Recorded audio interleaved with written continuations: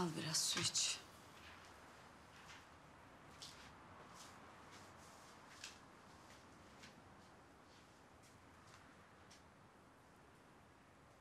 Kübra. Bu Yiğit Sibel'le evli olduğunu unuttu da mı sana böyle yanaşıyor? Hadi tamam.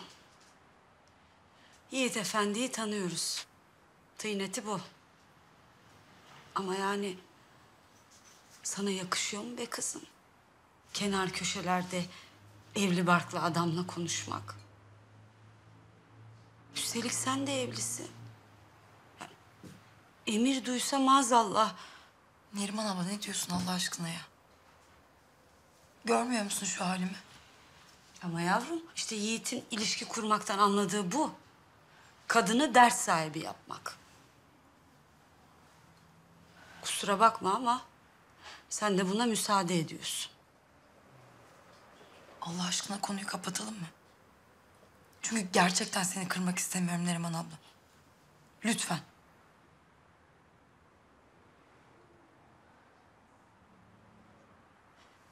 Tamam. O zaman e, ben biraz müsaadeni isteyeceğim. Patron hanım. Öğle yemeği molasına çıkıyorum. Ya, Neriman.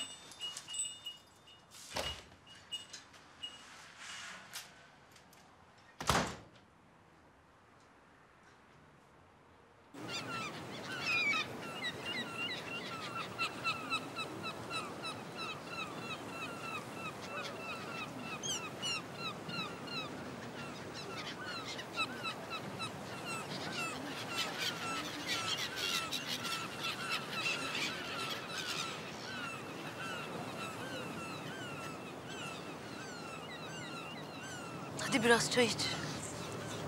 Betim benzin attı hadi. Sağ ol geldiğin için. İyi ki buradasın. Ya delirme. Ben her zaman yanındayım da.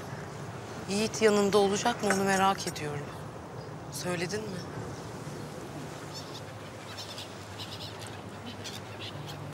Söylersem aldır der kesin de. Daha bu sabah...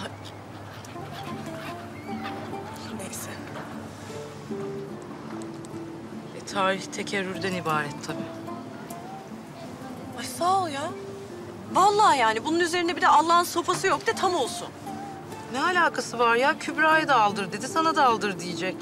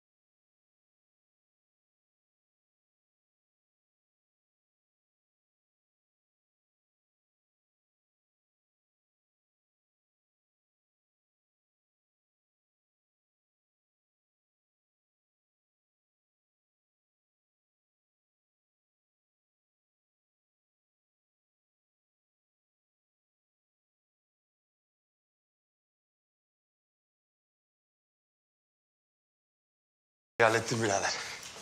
İyi aferin. Yüzde sekize kadar indirdim. Çok temiz iş olacak. Bizi de fazla uğraştırmayacak bu sefer. Ender kafam çok dalgın ya. Beni bir idare etsene ben bir hava alayım. Derya'dan havanı alma da. Ben seni idare ederim sorun değil.